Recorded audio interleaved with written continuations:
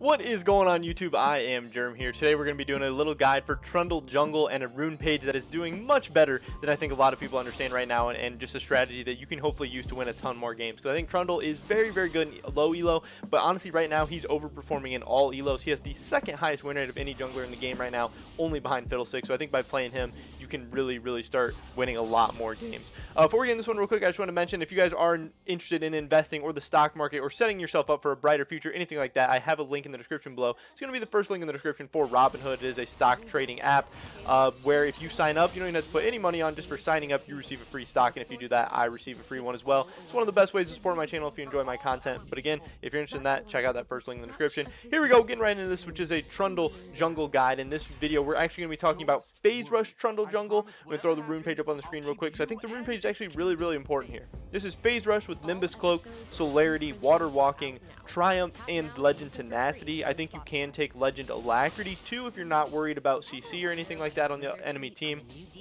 This page is going to be so good for Trundle, and one reason I want to make this video is that uh, Press the Attack and Conquer actually have a higher play rate than uh, Phase Rush right now, but Phase Rush actually has the higher win rate worldwide in Plat Plus. They're all very similar, um, but I think people should be taking a look at Phase Rush in more instances and in more situations. Right now, a lot of people are taking Press Attack the most, Conquer in a lot of situations, but Phase Rush is so, so good.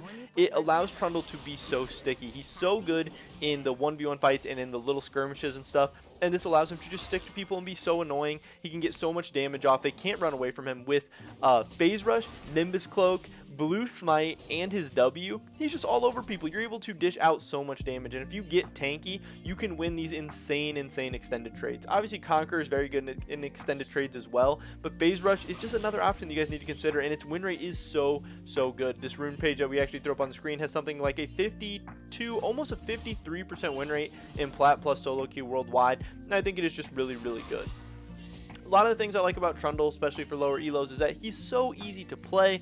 There's nothing insane. There's nothing you're going to really mess up about Trundle. He does have a skill. Uh, he does have some you know, skill expression and stuff with his E. You can begin to make some insane plays with his E. It can help you like cancel certain abilities, uh, set up some plays, block certain dashes, stuff like that.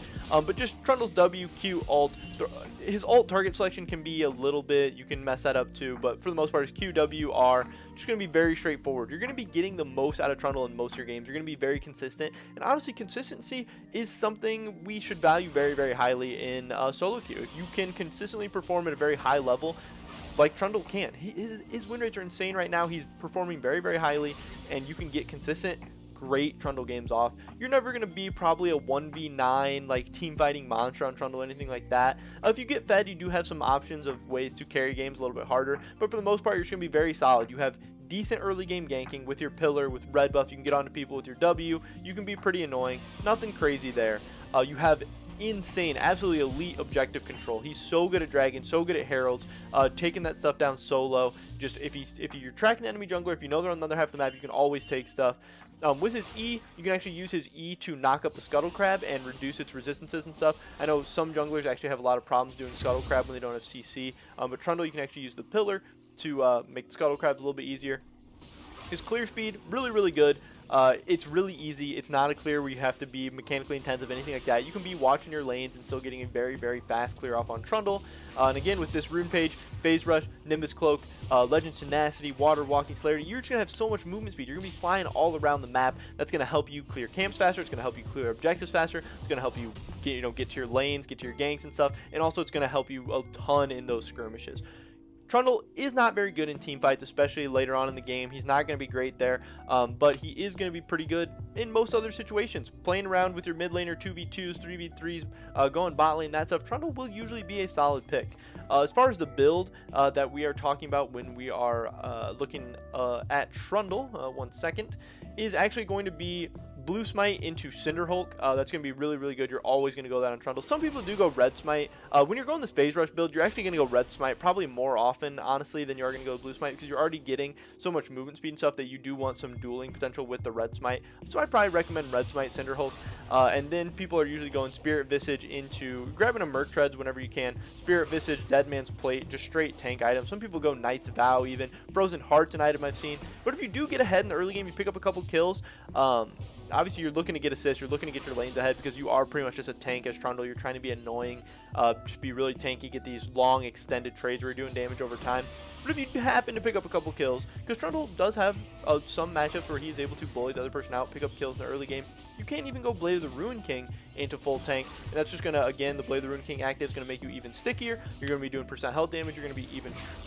You're going to be... I can't talk. You're going to be even stronger that way. Sorry about that. And that's going to be so, so good. And that's going to be really good for you. And you're just going to be able to win a ton of games. Trundle is so good because he has so many rune page options, so many build options. He's very easy to pull off. He's good in all elos because he's so easy, that's always going to make him really, really good in low elo. But again, he has like a 53% win rate plat plus right now. He has a good win rate in Diamond. He's getting played in Challenger. Professionals in North America playing him this week have a 53% win rate on him. So he's really excelling at all elo brackets, and I wouldn't be surprised if he kind of gets a, a, little bit of nerfs here soon. I don't think he's overpowered by any means, but I just think he's always so good that you can almost never go wrong. Uh, in a game, in a team composition, in anything with Trundle, there'll be a rune page, a build, a something to make him work and make him very, very effective in that game.